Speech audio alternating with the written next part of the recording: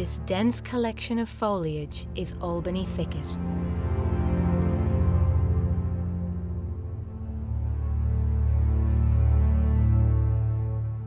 A form of scrubland found only in South Africa's Eastern Cape, the thicket is home to a great range of plant life.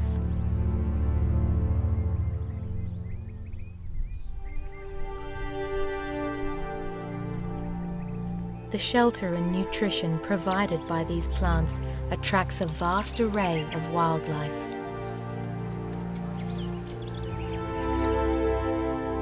From some of the smallest creatures on the surface of the earth to the largest.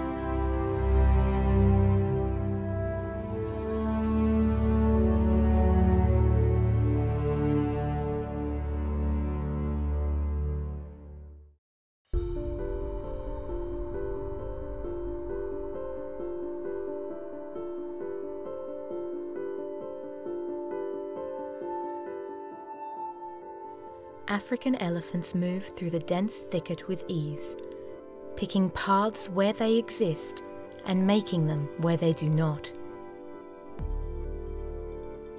The elephants spend much of their time in the thicket, which provides them with shelter from the wind and sun, and a ready source of food. Each elephant can eat up to 140 kilograms of food a day and one plant that they particularly like is speckboom.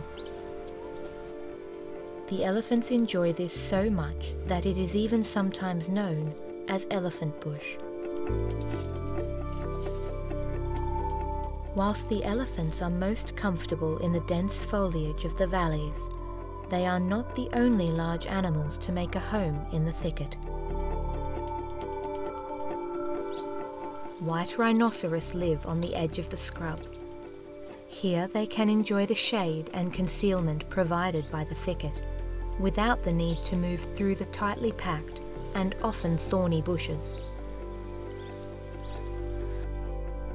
The rhinos also stay at the edge of the thicket as the grasses they eat only grow where the thicket is thinner.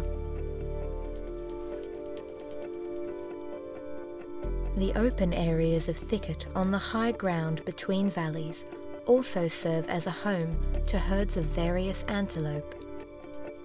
Like the rhinos, they largely graze on grasses, but rarely stray far from the protection of the thicket.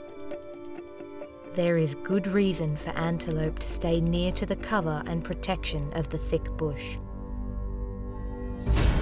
Lions also enjoy the shelter provided by patches of scrub, and the frequent patches of tree and bush provide them with excellent points from which to ambush their quarry.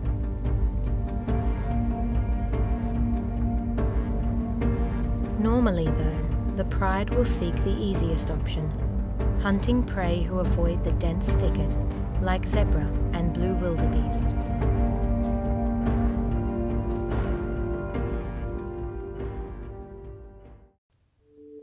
Red hartebeest are hunted by lions far less often than wildebeest.